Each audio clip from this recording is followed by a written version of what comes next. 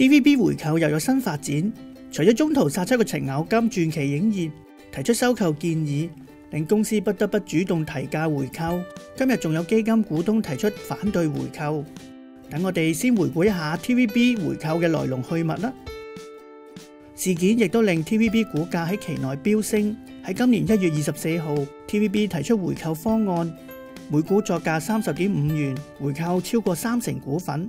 到二月七日，殺出個程咬金，傳奇影業提出建議收購，跟住 TVB 馬上提出修訂回購方案，提高回購價，但係降低回購股份数量，所動用資金不變。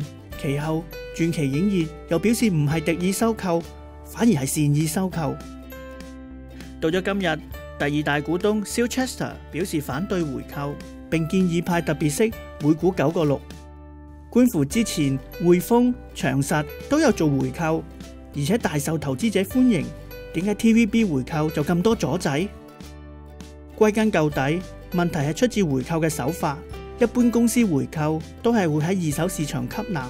今次 TVB 就選擇向股東邀約收購股份，而大股東即係由主席陳國強、黎瑞剛同黃雪紅持有嘅 Young Lion，已表明無意就邀約交回股份。當回購股份註銷之後，令大股東持股變相增加。利用呢個財技，大股東無需動用一分一毫就可以增持公司股份。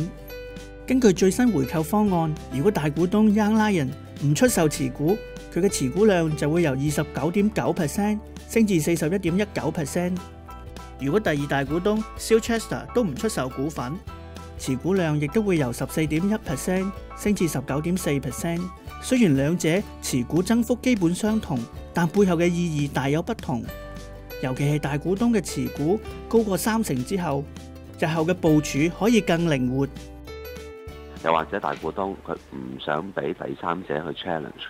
於是乎呢，佢就要透過呢一個影響公司嘅方案，而係將啲股份買入咗。咁買入咗之後呢，咁出邊街嘅股份咪少咗。咁如果第二個或者第三個股東，我要攞咗個 control 嘅權嘅話，我就要喺街嗰買嘅貨嗰陣時冇難咗咯。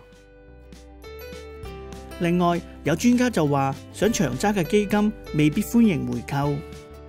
咁但係你可能有即係啲基金係佢哋嘅長線持有嘅打算嘅話咧。咁佢就會覺得呢個回購方案其實係唔好嘅，因為你係會啊削弱咗公司嘅財政實力，同埋你啊自己即係佢哋持有呢個股票嘅話，其實你過多一陣間嗰個價會落翻去嘅。如果冇特別事情發生嘅話，因為而家係一個特殊狀況，昂高咗個股價。